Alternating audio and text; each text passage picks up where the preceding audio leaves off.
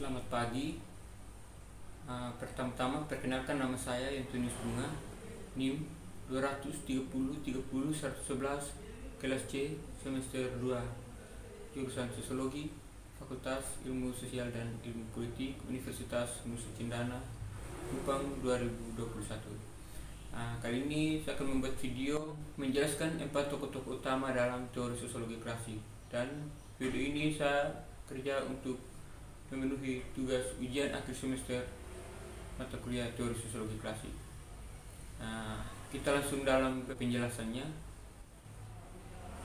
Nah, yang pertama Agus Comte. Agus Comte adalah seorang filsuf yang terlahir pada 19 Januari tahun 1798 di Prancis. Ia dikenal sebagai seorang pertama kali menyelamatkan istilah sosiologi.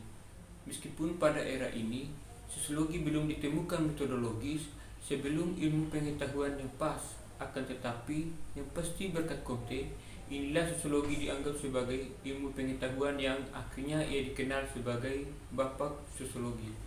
Uh, sebagai pencetus konsep sosiologi, Comte mendefinisikan sosiologi sebagai ilmu positif, yang artinya sosiologi bekerja dan mempelajari gejala-gejala sosial dalam masyarakat melandaskan pada logika rasional dan ilmiah.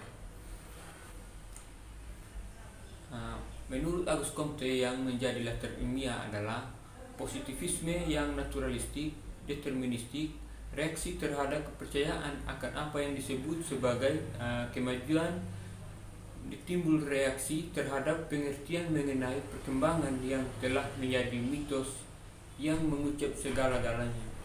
Konsep-konsep menurut Agus Comte yaitu terhadap metodologis tahap metafisik yang merupakan perkembangan dari tahap pertama dan ketiga adalah tahap positif yang tahap terakhir dari perkembangan manusia.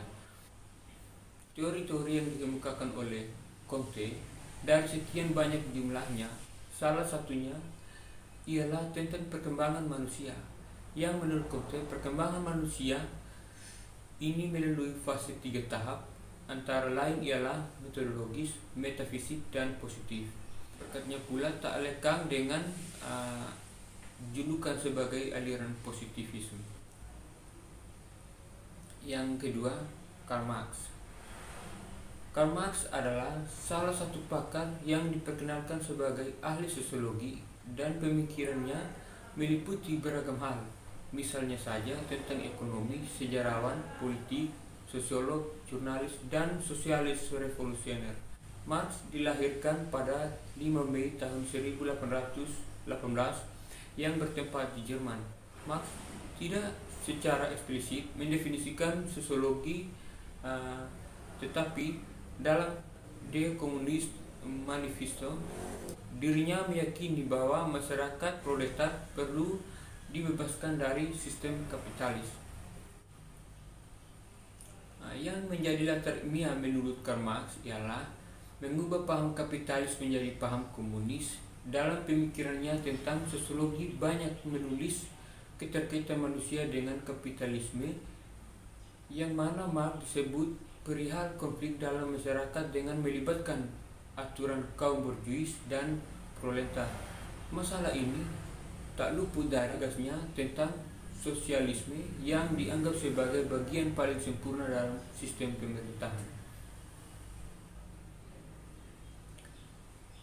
Konsep-konsep menurut Karl Marx yaitu konsep materialis yang diterapkan pada perubahan sosial budaya ekonomi dan adapun untuk kritik keras dalam teori yang dikemukakan oleh Karl Marx.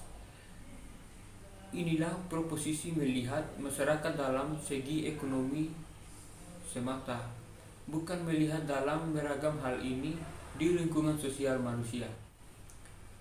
Nah, yang ketiga, menurut Max Weber, Max Weber adalah salah satu pakar sosiologi klasik yang dikenal luas sebagai penemuan ilmu metodologi kajian sosiologi secara nyata. Weber terlahir di Jerman pada 21 April tahun 1864.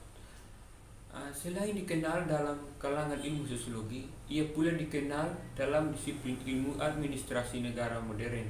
Menurut Max Weber, sosiologi berlaku sebagai studi yang meninjau tindakan sosial guna menjelaskan hubungan sebab akibat dari fenomena sosial tertentu. Konsep-konsep menurut Max Weber yaitu konsep birokrasi yang artinya tipe ideal birokrasi yang rasional dilakukan dalam cara-cara memiliki makna.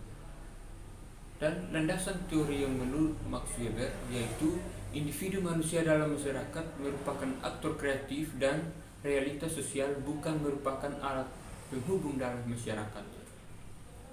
Yang keempat, Herbert Spencer. Dalam sudut pandang Spencer, sosiologi merupakan ilmu yang mengamati susunan dan proses sosial sebagai sebuah sistem. Landasan teori menurut Herbert Spencer adalah teori evolusi sosial universal dan perkembangan masyarakat dan kebudayaan melalui tingkat-tingkat evolusi yang sama dengan membedakan antara pertumbuhan, budaya, dan perkembangan. Dan konsep-konsep menurut Herbert Spencer adalah masyarakat uh, menangani perubahan atau evolusi karena pada dasarnya masyarakat bersifat dinamis yang berarti tidak diam seiring dengan perkembangan zaman yang pasti akan mengalami perubahan. Sebagai ilmu pengetahuan murni, sosiologi memiliki ciri utama yaitu satu empiris. Sebagai ilmu pengetahuan sosiologi didasarkan pada realitas sebagai sosial yang terjadi di lapangan dan tidak bersifat spekulatif.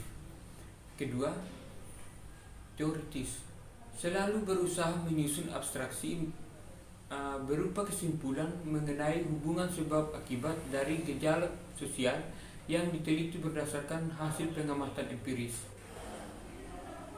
Uh, yang ketiga, uh, kumulatif.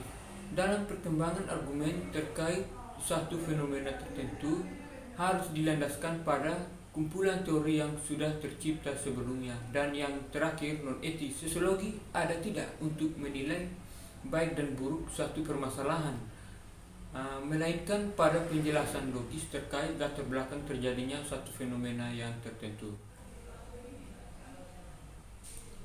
Uh, selain keempat ciri utama di atas sosiologi memiliki jumlah teori yang berbeda dengan teori sosial lainnya Hal ini membedakan adalah teori sosial berfokus pada komentar masyarakat serta memiliki tujuan yang secara intensif ke arah politik. Teori berasal dari uh, seperangkat gagasan, hipotesis, uh, argumen atau paradigma yang menganalisis fenomena sosial dan hal ini berbanding uh, terbalik dengan teori sosiologi yang berupa uh, memahami masyarakat tanpa mengacu pada konsep pada konsep baik atau benar tersusun dari proposisi abstrak dan dapat diuji tentang masyarakat. Sekian hasil penjelasan saya.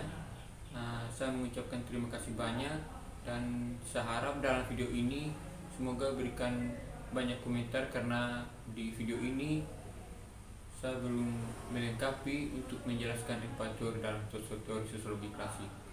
Uh, oleh karena itulah waktu dan kesempatan saya sudah uh, menjelaskan secara pemahaman saya yang sudah tersusun dalam slide. Saya mengucapkan terima kasih banyak. Sekian dan terima kasih.